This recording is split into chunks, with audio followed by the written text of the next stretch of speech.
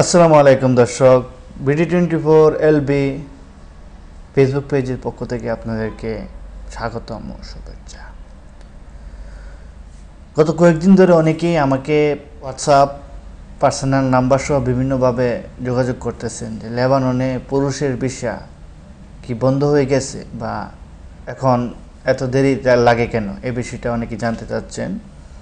এই বিষয়টা নিয়ে আজকে আপনাদের সাথে ক্লিয়ারলি কিছু কথা বলব। তার আগে যারা এখনও BD twenty four LB Facebook পেজটিকে ফলোয়ার বাটনে ক্লিক করেন নাই, অবশ্যই ক্লিক করবেন এবং পেজে বিভিন্ন ভিডিওতে লাইক কমেন্ট এবং শেয়ার করে নতুন নতুন কন্টেন্ট তৈরিতে উৎসাহ প্রদান করবেন।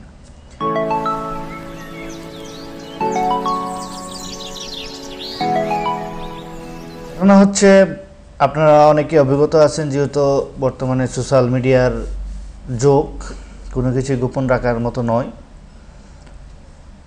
লেবাননের সিরিয়ানদের সাথে লেবানিসদের একটা সংঘাতের পরে সিরিয়ানদের নিয়ে আপনারা জানেন যে সিরিয়ার দীর্ঘ গৃহযুদ্ধের কারণে অসংখ্য সিরিয়ান লেবাননে উদ্বাস্ত শিবিরে অবস্থান করতেছে জাতিসংঘের ইউএনএচআরের তত্ত্বাবধানে, যাদেরকে এক কথা রিফিউজি বলা যায়।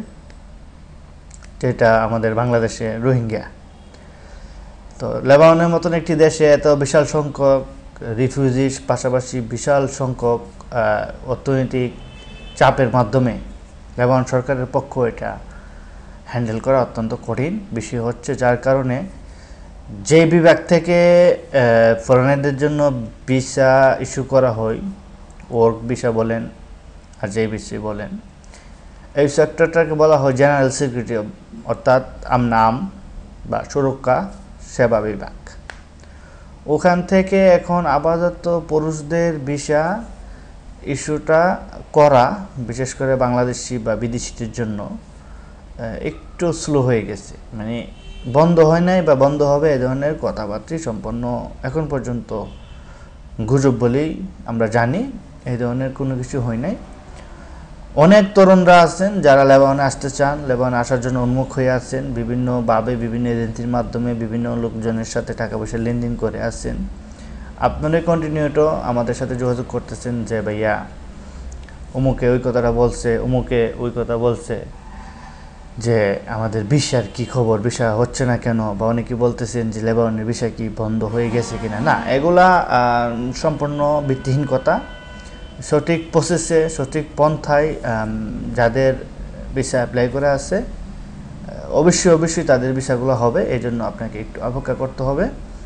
এবং জেনারেল সিকিউরিটিতে এখন সিরিয়ানদের নিয়ে সিরিয়ানদের কি করা যায়, কীভাবে তাদের সাথে একটা বিষয়টা সমাধান করা যায়, এটা নিয়ে কিন্তু লেবানিসের সুরক্ষা বিভাগ কাজ করতেছে, আপনি, এবং আপনারা যারা কন্টিনিউ যারা সোশ্যাল মিডিয়ায় চোখ রাখেন, অবশ্যই দেখতেছেন বিভিন্ন জায়গায় সিরিয়ানদেরকে ধরার জন্য আনলিগেল যাদের কোনো পেপার নাই, যারা অবৈধভাবে জল সীমান্ত থল থল সীমান্ত দিয়ে প্রবেশ করেছে বিভিন্ন জায়গায় লেবানের আইন শৃঙ্খলা রক্ষাকারী বাহিনী কিন্তু সেখানে অভিযান পরিচালনা করতেছে।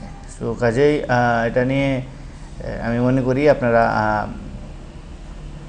মাথা ঘামানোর দরকার নাই।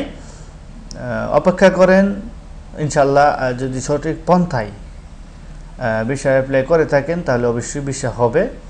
এবং এতটুকু বলতে পারি যে লেবারনের ভিসা চালু আছে। ধন্যবাদ সবাইকে। ভিডিওটি দেখার জন্য সবাইকে অসংখ্য অসংখ্য ধন্যবাদ।